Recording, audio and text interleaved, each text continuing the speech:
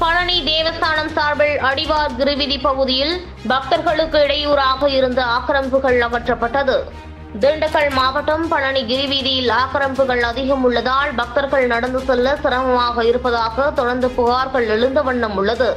இதனால் பக்தர்கள் கிரிவீதியில் சுற்ற முடியாத அளவுக்கு ஆக்கிரமிப்புகள் பக்தர்களிடையே பெரும் அதிருப்தியை ஏற்படுத்தியது.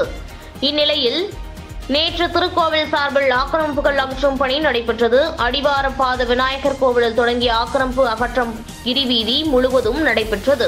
அப்போது ஏராளமான போலீசாரும் திருக்கோவில் பாதுகாவலர்களும் வருவாய்த்துறையினர் முன்னிலையில் ஆக்கிரமிப்புகள் அகற்றப்பட்டது.